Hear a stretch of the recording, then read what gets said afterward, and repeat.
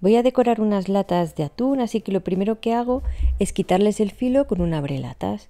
Si no tenéis este aparato, podéis chafar el filo con unos alicates. Voy a dar una capa de imprimación para metales, que además es antióxido. Este producto lo encontráis fácilmente en tiendas de pintura. Le voy a dar una capa por dentro y otra por fuera. Primero a pincel y luego a esponja porque es muy líquido y así no va a gotear.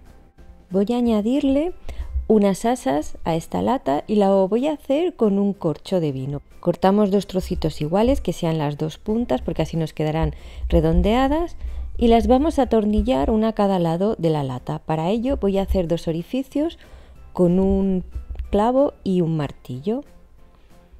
Cogemos un tornillo pequeñito, lo introducimos en el orificio y apretamos bien para atornillar el trozo de corcho. Así va a quedar sujeto y no se va a mover. Si queréis dejar el corcho natural, lo podéis atornillar después de pintar. Yo lo quería pintar, así que lo puse y luego ya pinté la lata con pintura latiza en color blanco. También podéis utilizar pintura acrílica. Voy a decorar con un trocito de servilleta. Cogemos un poquito de barniz con los dedos y le sacamos las dos capas blancas a la servilleta y recortamos el borde para quitar el máximo trozo de servilleta de color blanco a nuestra figura. Aplicamos un pincel húmedo como guía y luego vamos recortando con la mano. Colocamos el trozo de servilleta encima de la lata y aplicamos barniz, puede ser cualquier tipo de barniz mientras sea al agua, por encima del centro hacia afuera. Y aprovechamos que tenemos la servilleta húmeda para empujarla hacia el borde y recortar la servilleta sobrante.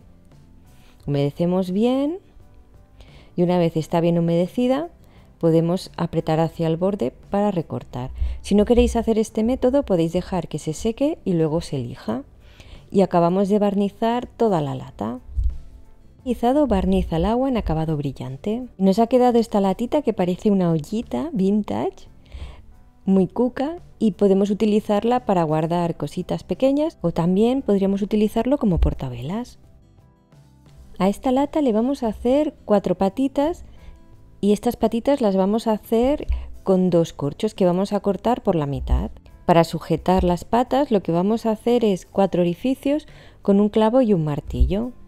En estos orificios irá el tornillo que vamos a atornillar a las patas. Así quedan súper bien sujetas, pero si no queréis utilizar este método podéis pegarlas, por ejemplo, con silicona caliente. Yo las voy a atornillar ya porque las quiero pintar al mismo tiempo que voy a pintar la lata. Coloco el tornillo y voy girándolo hasta que queda completamente sujeto a la lata y al corcho.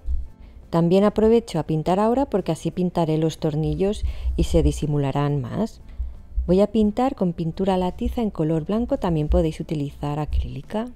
Voy a dar una capa tanto por dentro como por fuera. Si hiciera falta vamos a dar varias capas alrededor de la lata hasta que no se vea el dibujo original. Aquí tengo un trocito de servilleta que me sobró de otro proyecto y lo voy a recortar. Lo coloco encima de la lata y voy a aplicar barniz brillante al agua por encima, aplicando del centro hacia afuera. Cuando tenéis bien pegada la servilleta y húmedo el borde, recortamos y acabamos de barnizar con el mismo barniz. Y aquí tenéis esta lata con patitas yo esta la veo ideal para hacerle unos orificios en la base y utilizarla de maceta, creo que puede quedar muy bonita. O si no también como portavelas o como joyero, se le puede hacer una tapa. Voy a decorar otra lata de atún con unas asas que voy a hacer con un corcho. Corto un trocito y lo voy a cortar por la mitad. Cada mitad será una de las asas y ya voy a dejar preparados los orificios para luego atornillarlos. Por supuesto, este paso es opcional y los podéis luego pegar con pegamento. Voy a darle una capa de pintura latiza, también podéis utilizar acrílica, sobre todo para la base y para el interior. El exterior no me importa tanto como quede porque luego lo vamos a forrar. Una vez seca la pintura vamos a aplicar una capa de cola blanca y encima vamos a pegar una tira de yute una vez está completamente pegada, lo que vamos a hacer es aplicar otra capa de cola blanca por encima para endurecer y así proteger. Una vez seca la tela, volvemos a abrir orificio, lo podemos hacer con unas tijeras pequeñas, le pasamos el tornillo y atornillamos el trocito de corcho en forma de asa. Quise un aspecto más rústico, no pinté los tornillos, los dejé así al natural y barnicé. Para ello usé barniz al agua en acabado brillante y nos ha quedado esta latita con un aspecto más rústico gracias al yute y a que hemos dejado al natural los trocitos de corcho. Incluso he puesto en la parte de arriba el corcho teñido por el vino. Se puede utilizar como vacía bolsillos. Ya le he dado la capa de imprimación a esta lata y lo que voy a hacer es decorarla con un corcho que voy a atornillar uno de los laterales, así que le voy a hacer un orificio.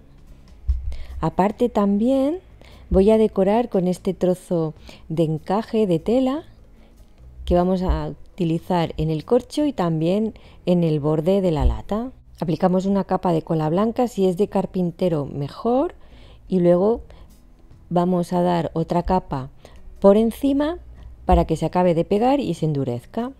Una vez está seco, colocamos el tornillo y atornillamos el corcho.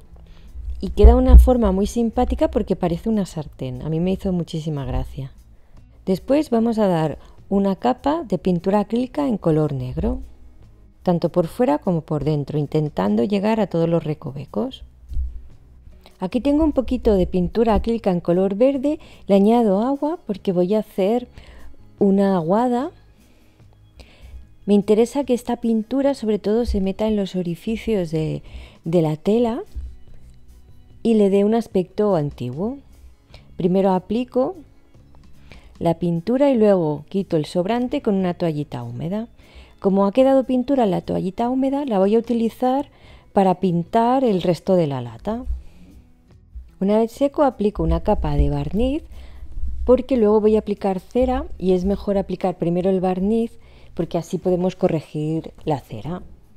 Voy a aplicar cera en crema en color dorado.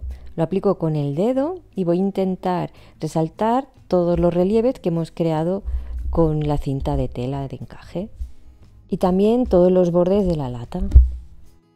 Y así de bonita nos ha quedado esta latita. Yo creo que tiene un, un aspecto así como árabe, me recuerda algunas decoraciones que vi por Turquía y creo que puede quedar precioso como un portavelas o para guardar cosas pequeñitas. Y tiene esta forma tan graciosa. Y hasta aquí el vídeo de hoy, espero que os hayan gustado estas ideas para decorar latas de atún añadiéndole un toque diferente con corchos. Yo he atornillado todos los corchos, pero vosotros por supuesto podéis utilizar silicona caliente o cualquier otro tipo de pegamento fuerte. Si te ha gustado el vídeo me encantaría que lo compartieras con tus amigos y en tus redes sociales. También me puedes dejar un bonito comentario y regalarme un like. Y no olvides suscribirte. Solo tienes que darle al botón de suscripción y luego a la campanita. Y allí activar todas las notificaciones para que te llegue un aviso cada vez que suba un vídeo. Nos vemos muy pronto. Chao, chao.